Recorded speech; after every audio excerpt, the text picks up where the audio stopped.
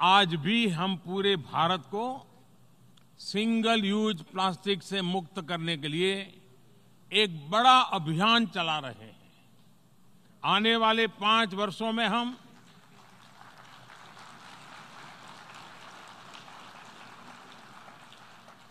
आने वाले पाँच वर्षों में हम जल संरक्षण को बढ़ावा देने के साथ ही पंद्रह करोड़ घरों को पानी की सप्लाई से जोड़ने वाले हैं।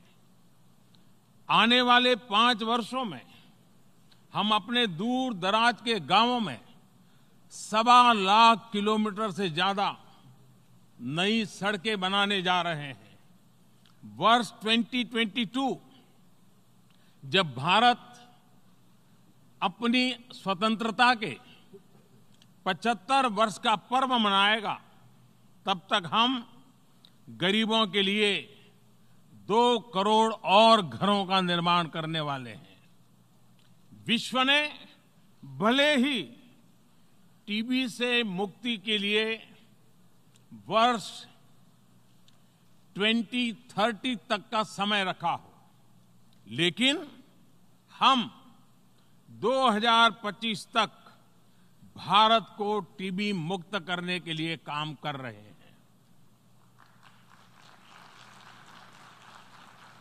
सवाल ये है कि आखिर ये सब हम कैसे कर पा रहे हैं? आखिर नए भारत में बदलाव तेज़ी से कैसे आ रहा है? अध्यक्ष महोदय, भारत हज़ारों वर्ष पुरानी एक महान संस्कृति है, जिसकी अपनी जीवंत परंपराएँ हैं, जो वैश्विक सपनों को अपने में समेटे हुए हैं। हमारे संस्कार, हमारी संस्कृति जीव में शिव देखती है।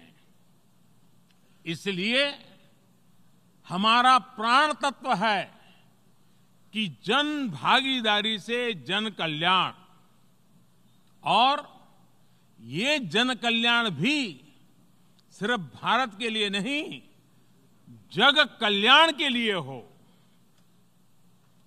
जन कल्याण से जग कल्याण। और तभी तो हमारी प्रेरणा है, सबका साथ, सबका विकास, सबका विश्वास। और ये सिर्फ़ भारत की सीमाओं में सीमित नहीं है। हमारा परिश्रम न तो दया भाव है और न ही दिखावा। ये सिर्फ़ और सिर्फ़ कर्तव्य भाव से प्रेरित है। हमारे प्रयास 130 करोड़ भारतीयों को केंद्र में रखकर हो रहे हैं। लेकिन ये प्रयास जिन सपनों के लिए हो रहे हैं, वो सारे विश्व के हैं, हर देश के हैं, हर समाज के हैं। प्रयास हमारे हैं, परिणाम सभी के लिए है, सारे संसार के लिए है। मेरा ये विश्वास दिनों दिन तब और भी दृढ़ हो जाता है, जब मैं उन देशों के बारे में सोचता हूँ जो विकास की यात्रा में भारत की तरह ही अपने अपने स्तर पर प्रयास कर रहे हैं। जब मैं उन देशों के सुख दुख सुनता हूँ, उनके सपनों से परिचित होता हूँ, तब मेरा ये संकल्प और भी पक्का हो जाता है कि मैं अपने देश का विकास, जिससे भारत के अनुभव उन देशों को भी काम आ सके। अध्यक्ष महोदय, आज से तीन हज़ार वर्ष पूर्व, तीन हज़ार वर्ष पूर्व भारत के महान कवि कणियन पुंगुन ड्रनार उन्होंने विश्व की प्राचीनतम भाषा तमिल में कहा था यादम उरे, यावरुम केडीर। यानी हम सभी स्थानों के लिए अपनेपन का भाव रखते हैं और सभी लोग हमारे अपने हैं। और ये तीन हज़ार साल पहले की बात कर रहा हूँ। देश की सीमाओं से परे अपनत्व की यही भावना भारत भूमि की विशेषता है। और गंभीर समस्याओं के समाधान का सामूहिक प्रयास है। अध्यक्ष महोदय, अगर इतिहास और पर कैपिटा एमिशन के नज़रिए से देखें तो ग्लोबल वार्मिंग में भारत का योगदान बहुत ही कम रहा है। लेकिन इसके समाधान के लिए कदम उठाने वालों में भारत एक अग्रणी देश है। एक और तो हम भारत में 450 गीगावाट रिन्यूएबल एनर्जी के लक्ष्य पर काम कर कर रहे हैं। वहीं दूसरी ओर हमने इंटरनेशनल सोलर अलायंस स्थापित करने की पहल भी की है। ग्लोबल वार्मिंग का एक प्रभाव ये भी है कि नेचुरल डिजास्टर की संख्या और उनकी तीव्रता तो बढ़ती ही जा रही है। उनका दायरा और उनके नए नए स्वरूप भी सामने आ रहे हैं इस स्थिति को देखते हुए ही भारत ने coalition for disaster resilient infrastructure CDRI बनाने की पहल की है। दुनिया के देशों को इससे जोड़ने के लिए मैं निमंत्रण देता हूँ। इससे ऐसे इंफ्रास्ट्रक्चर बनाने में मदद मिलेगी जिन पर प्राकृतिक आपदाओं का प्रभाव कम से कम होगा। अध्यक्ष महोदय, यूएन पीस कीपिंग मिशंस में सबसे बड़ा बलिदान अगर किसी देश ने दिया है तो वो देश भारत है।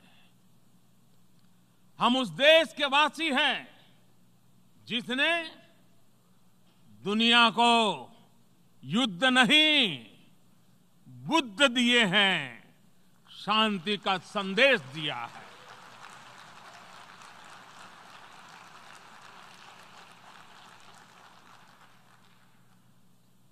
और इसलिए हमारी आवाज़ में आतंक के खिलाफ दुनिया को सतर्क करने की गंभीरता भी है और आक्रोश भी।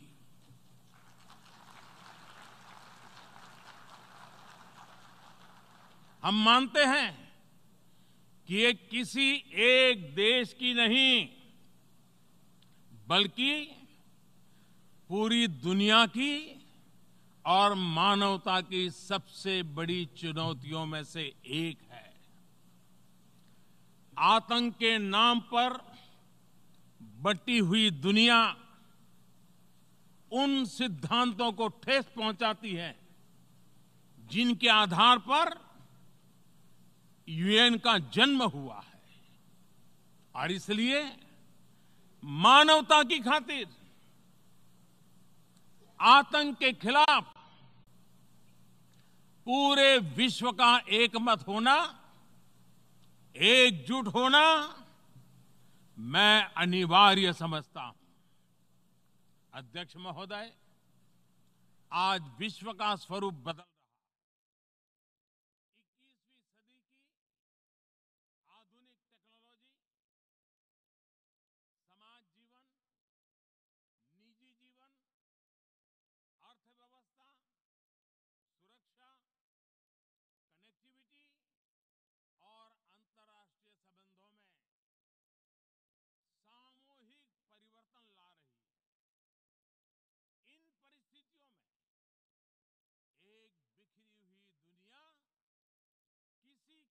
में नहीं है ना ही हम सभी के पास अपनी अपनी सीमाओं के भीतर सिमट जाने का विकल्प है give up on streaming? And we don't want that to happen.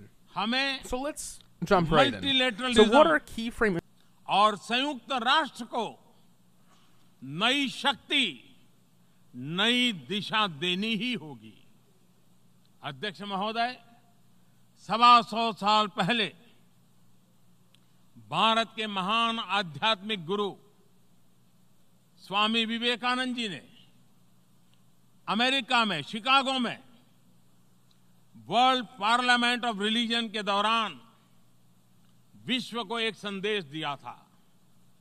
ये संदेश था, harmony and peace and not dissension.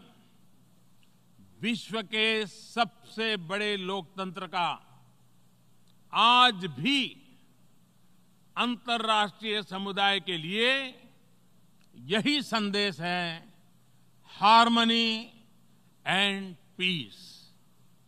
बहुत बहुत धन्यवाद।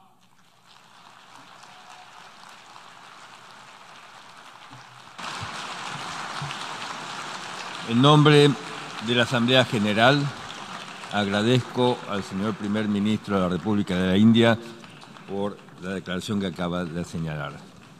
Pido a protocolo que acompañe a su excelencia.